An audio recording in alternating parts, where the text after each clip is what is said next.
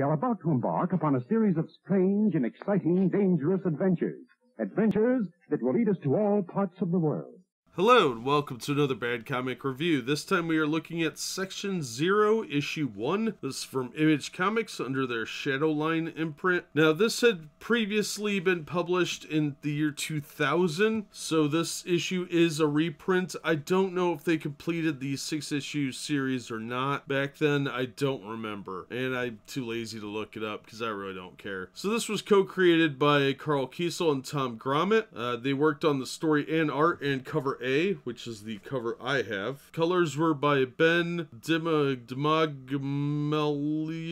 I have no idea. Letters by Comiccraft's Richard Starkings. Melanie Hackett did the edits, and Mark Lombardi was communications. We start off with a incident going on out in Australia. It looks like a giant cat of some kind, and this information is trying to be relayed to a guy named Sam, and he is in the middle of a war zone in Cambodia where he he recruits a bug monster, and we meet Sam the bug boy and his ex-wife Tina, who is the kind of the group leader. And then we meet Tesla, who's this alien guy, and they get beamed up. And a little while later, we see that their base is on Montauk Island, and we learned a little bit about the young man's ability to turn into a bug. And then, of course, we meet uh, Mr. Keeler, who is obviously loosely based on John Keel, the writer of the Mothman prophecies, the Eighth Tower, and several other books. And there also is another group called the Ghost Soldiers, and we're left with a cliffhanger ending, which actually was pretty interesting and looks pretty cool. This looks like a pretty weird assortment of characters, and the next issue isn't coming out for like two months, which was really disappointing, but it was a shockingly fun read. The art's solid, it's very solid actually. Uh, Karl Kesel and Tom Grummett are both good writers, so there's that. Uh, although the art artist did make a mistake when